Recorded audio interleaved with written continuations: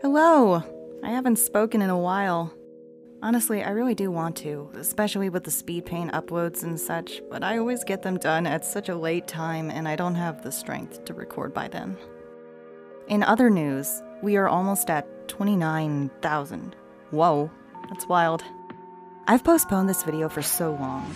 Half of it was because I wanted to give a good time frame for people who watch the animation before I show the time lapse, because with it I'll be showing every hidden Easter egg I drew.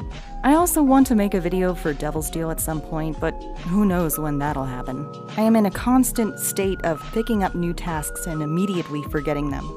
On top of that, the new project, you can consider it like a City of Stars sequel. It has a similar theme at the very least. Anyways, on to the questions that you guys asked. What was your favorite scene to animate? My favorite scene in this animation, and across everything I've done so far, is the scene where Q thrusts his hand through the lava wall while holding the shears. I guess it's pretty simple compared to some of the other scenes, but for me personally, that was the most effective in communicating the mood that I wanted to show as well as the connotations it had for that character's intentions. At the time, his wrist movements were also more realistic than I expected it to be while drawing, which was an added bonus. How did you find and arrange the sound effects?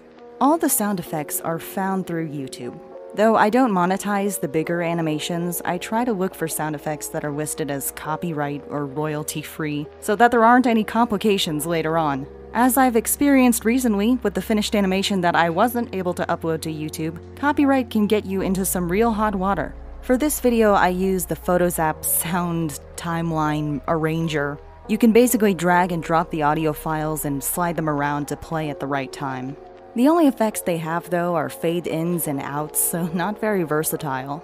As of late, I've switched more to adding all of the reverb and distortion effects on a sound editor called Cool Edit Pro. Does the audio or the animation come first? How hard is it to get everything just right? Song always comes first because I build the animation off of the different sections of the music. Sound effects I may add as I'm going or as an afterthought, depending on how I think it would add to a scene. Let me tell you, it can be real frustrating to get the timing right on the animation, especially for faster songs like the Undying video. And this is mostly because of the program, because Windows has a wonderful habit of playing the video preview at a different speed from the exported video. Truly infuriating. I'd finish everything at like 3 a.m., and when it exports, suddenly every frame is lagging by half a second. What was it like adding in all of the different sounds and distortions, like the water and near the end where the song becomes distorted and whatnot? Well, it's pretty fun. I remember all while I was making it, I was like gushing over the sound effects that I was putting in on Twitter. Maybe a little bit too much, but I just like how it adds to the atmosphere of everything. But I only want to add it when it's necessary. So, like a lot of parts, it's just the music because that's all I want you to focus on and others might have like the ambience noise, like that nighttime wind blowing effect. And that's like when I want it to feel more grounded in that actual scene, like you're standing there. And of course, towards the very end, it's just meant to be all chaotic and aggressive. Though there may be something hidden in there that hints at something I plan to do. I don't know. Oh, actually, one thing I wanted to mention was that some people are talking about how they really like the water sound that came out when I was doing the, the pan through the lava thing. And that actually, that water sound is the exact same one used when he fell into the water in the beginning of the animation. So, parallels. Did you take breaks and plan the amount of work each session? Would you like to show the storyboard? Planning will never be associated with my name. I unfortunately have no storyboard to show you. This time-lapse video is my entire drawing and brainstorming process combined. That said, I work based on how motivated I feel to make a scene, which can be like a superpower and a major detriment. Because with, say, Devil's Deal and Undying, they only took three to four days because I was ready to draw every scene and I'll admit, obsessed with working. City of Stars took noticeably longer because there were some parts where I really didn't want to draw it either because it was boring or difficult or without direction. Like I think I actually remember in the beginning where that scene where he like stands up when he's sitting on the building. I, I hated drawing that so much. It ended up looking nice, but it was so, so boring and tedious to draw every pose to realistically do that fluid movement. For your Undying video, I saw that your animation process leaned more towards straight ahead animating, where you completed the whole thing in a linear way. Do you plan out all the scenes previously, like storyboard or written words, etc.? Or do you work out the details as you go? When I try making animatics, I plan every little detail out, or else I get lost and don't know how to connect everything. To be fair, planning out the animatic or animation is probably what I should be doing. I'm frankly just really impatient. Along with that, I feel like if I plan what to do, it limits how flexible I can be with the impromptu changes in the story. Many of the scenes are thought of right before I started actually drawing said scene. I don't waste time with sketches beforehand either, which is why the animations look so messy. But now that I think of it, I guess you could say it is preconceived. Only that the storyboard isn't drawn out or written, but entirely kept in my head. When it comes to main scenes, I usually think of them while walking somewhere and listening to said song. Funny enough, I'll have an audible aha moment in the middle of the sidewalk and go on with my day. So until I get to that scene, I just remember it. Do you use references for certain frames? I think so, though I have a fuzzy memory of when I've done so. Maybe for things like water, I'll look up stock images to capture the shape correctly. Or for certain locations on the server, I'll pull up screenshots so I can cut them down to their bare bones appearance. For movement, however, I don't think I look up references unless I'm genuinely stumped on how to transfer an action to animation. I think the only reference I looked at for a person moving was when Q was jumping in front of that sunset from one mound to another, because I could not for the life of me make it look realistic. And honestly, in the final product, I don't think I did. But for the rest of them, I usually reference my own movements and how I perceive myself if I were to do that action. Were there any scenes that you initially planned for this animatic but scrapped for whatever reason? It happens pretty often, most of the time because I've forgotten about them. Perks of a mental storyboard. Do you have a thing for waltzes? They seem to pop up a lot in your art. I didn't realize they leaked in like that. I do appreciate dance a lot, though I'm not much of a dancer myself. I think the slow, rhythmic dances especially convey so much emotion. Like, they are what I consider to be the body language equivalent of facial expressions. One day, I hope I can animate those kind of things realistically because it's such a beautiful art form. How do you choose your color palettes and which are your favorites? I rely on gradient maps and color balance a lot. The preset gradient maps on Procreate are something I can fall back on when I want suggestions for a different color scheme. If I like it, I'll make a duplicate of the frame and lay it over the original, adjusting the opacity of the gradient layer to how I'd like it. And color balance sliders are a must in almost all the art I do. I like to slide them everywhere and just see how it looks or if it's necessary. Curves have a similar effect, but they also affect the lightness and darkness of an image. I definitely recommend experimenting with these things while coloring. Even if you don't end up using them, it broadens your perspective so that you could maybe experiment with colors in the future. How do you choose the colors when you want to represent a certain mood in a setting or character? I usually decide based on a scale of how warm or cool I think a scene would feel. Like the desert, for example, is meant to be a hot place, but is colder by the nature of it being nighttime, as well as the context of being in this huge desert alone. I find myself associating cool colors with loneliness very often. Maybe because the cold feels so isolating. So, on the flip side, with happy scenes or nostalgia, I prefer warmer, brighter colors. It gives like that feeling of comfort. And I also feel like that's how you would perceive the colors of the world differently if you, the viewer, were in that character's place, feeling what they feel. And then strong reds and such, of course, have like tension behind them. So, when I saw City of Stars, the first thing I noticed were the stars and the moon, because they bring me a lot of the feeling of northeastern woodcuts. Was it intentional? If not, what did you use as inspiration to make the moon and stars? There definitely was a certain aesthetic in mind. I guess I wanted something that looked pictographic but with some mystical wonder. One thing I can pinpoint, though I don't know if I was intentionally referencing this, was the look of that painting in the artist's log cabin in the woods of the movie Kiki's Delivery Service. The one that she made of Kiki? Weirdly specific reference, I know, but I just liked that vibe, and I guess I want to replicate it. I think the stars specifically were also influenced by the look of fairy lights. I actually own star shaped Christmas lights for my room because I can't get fairy lights myself. Do you have any tips on finding your own art style? How did you find yours? And when you found it, were you happy with it? Even if you intentionally make changes to your art style, some essence of it will always be in every drawing you make. This is because your art style comes from your truest way to draw, I think. It'll be a combination of techniques that you find the most comfortable to use and the art that you enjoy seeing the most. So, I guess there isn't a defined point where you find your art style. It will keep changing as you learn new things and experiment. To answer your question, I suppose I like my current art style, though I'm open to trying a different look if I find something new and interesting that I haven't tried before.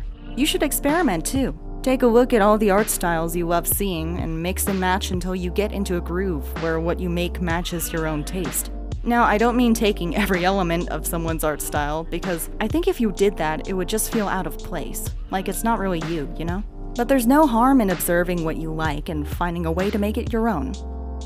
Does it bother you if people take inspiration from your style? Like, not trace, but more like taking the way you draw eyes, the vibes of your stuff, or in general style? I don't mind at all. It's flattering that people would take inspiration from something I made, just as I've tried to learn from the artist I admire. How do you animate so well in Procreate despite the timeline being so confusing? I've tried it, but the way the layers work for each frame is both confusing and a bit limiting. I'm not quite sure if I can provide any helpful advice for this, because it might just depend on like your own process and how you draw things. But for me, I'll use at max like maybe three layers for a frame if I want to like color under and over it. And then I merge everything together afterward. But because of that like onion skin opacity setting that the animator tool has, it can be hard to like see the final image as you're working on each layer because it does convert every layer into a different frame. So for that, I just like constantly toggle the animator tool on and off. Another thing that might be helpful is um, using clipping masks. Because something I found was that if you use a clipping mask to that layer, it doesn't count it as like a separate frame in the animating tool. So like you can have like five clipping masks over the one layer, and then it'll all show up like it's that one layer. How do you add audio to Procreate for animation? Okay, I get questions like this a lot, and I think because there's some misunderstanding when I say I make the frames on Procreate and put them together on Windows Photos. Because by this, I don't mean I make animated sequences on Procreate, I mean I export every individual image from Procreate. So, like, hundreds and thousands of images take up my photo album, and I email them to myself. Every image gets put into the photo's timeline, which lets me add sounds and such. So it's basically like I make a photo album, but it's extremely fast. What helps you stay motivated while working on projects? If I legitimately have an idea for the animation I want to do, it's an understatement to say I'd get completely obsessed.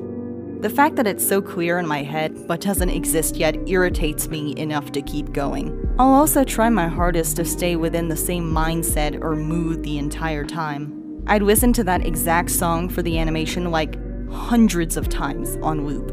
That way I stay in the same kind of trance, but also it gives me free time to brainstorm other scenes as I hear the different lyrics.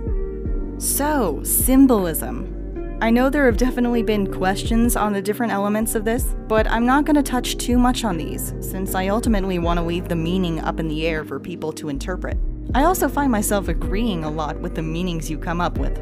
Sometimes, I wish I had thought of that myself, so in a way, if I never reveal the actual meaning, it's as though everything is canon. Also, with things I want to do in the future, I want to form like a web of videos that are linked together through Easter eggs or references to different points in the timeline. I think that would be fun. But I'll touch on a little symbolic stuff. What was the rain falling on Quackity's head during the torture scene? So, this is a recurring theme for whenever I draw the cell in that prison, and it's because of the crying obsidian in the ceiling. I have a personal interpretation where it cries more in response to emotional atmosphere or violence. So the fact that it produces a downpour when Q enters the room, take with that what you will. What was the meaning of the hue shift in Quackity's eyes? It's important to explain why it was red in the first place.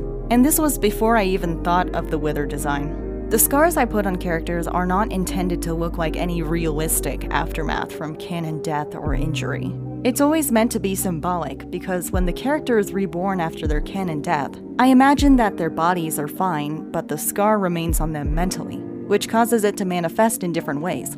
The size and appearance of Q's scar, which I guess some people interpret as body horror, is meant to show how violent and gruesome the event was when Q got pickaxed. It relies on the fact that the pickaxe isn't really accurate, so in my interpretation, it may not have landed right in the teeth like Techno was planning. How I imagined it, and warning this may sound a little graphic, was that it missed its mark and went straight into the eye, like a full stab. Because I mean, that's what pickaxes do, right?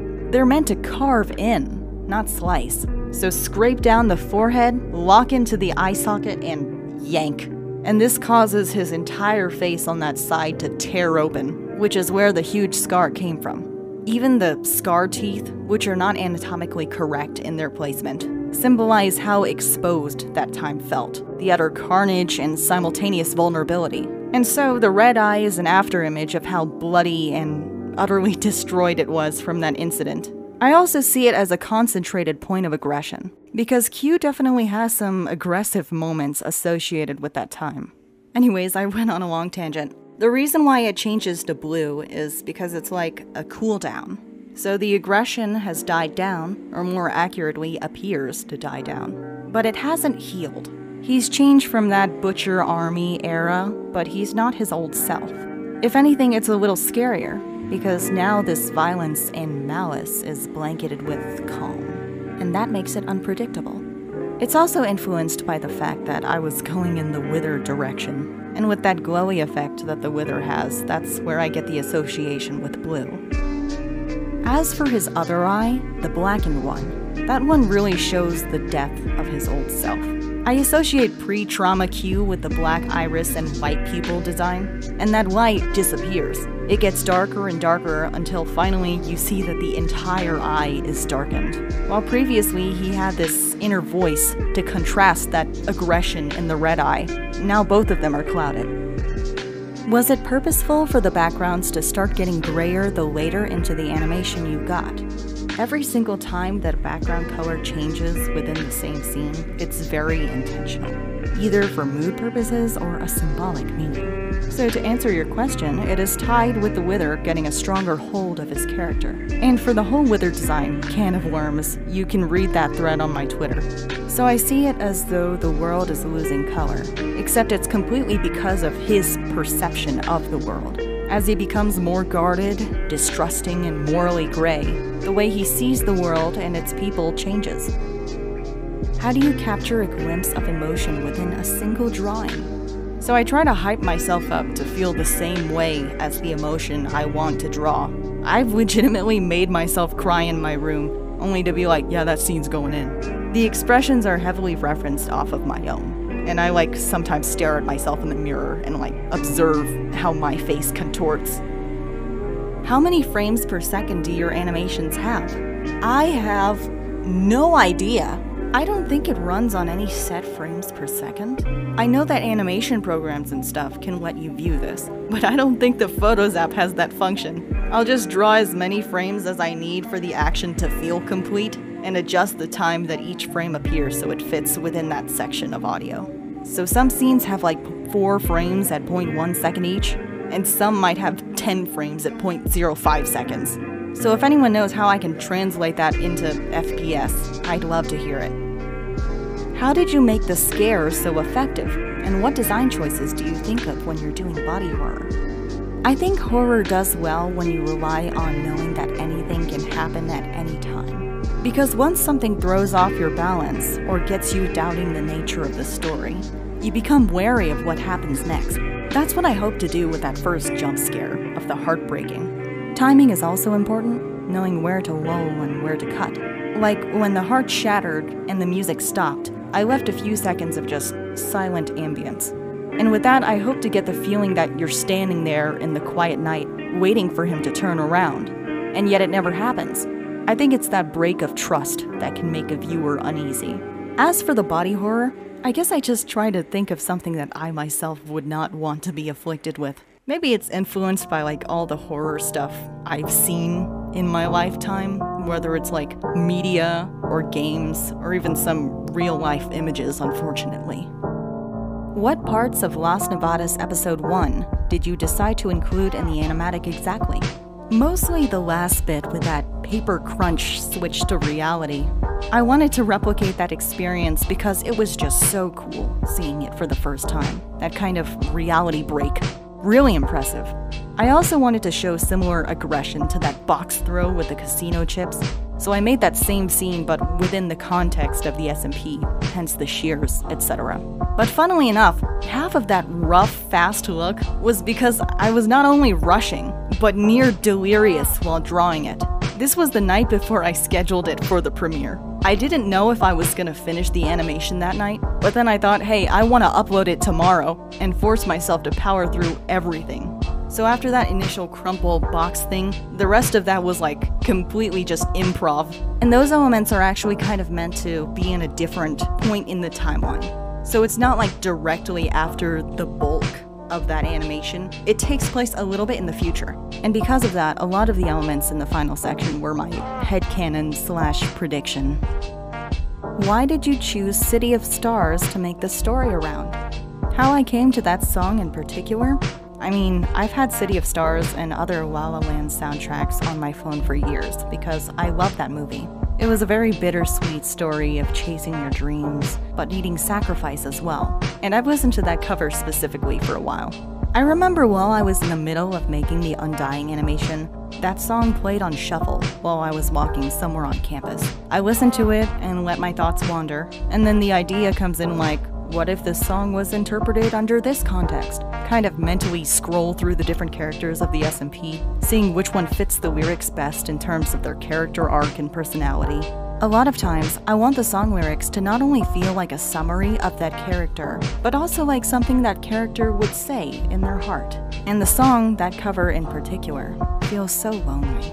So it felt like a perfect fit for the casino. Still in the groundworks, a big vision, but a one man job. How did you learn animation?